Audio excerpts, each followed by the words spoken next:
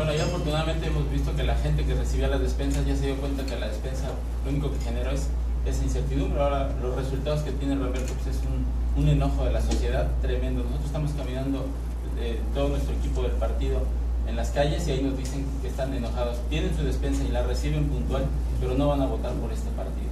Es decir, ya están enojados, están molestos, es el resultado de no hacer las cosas, de improvisar una campaña a través de.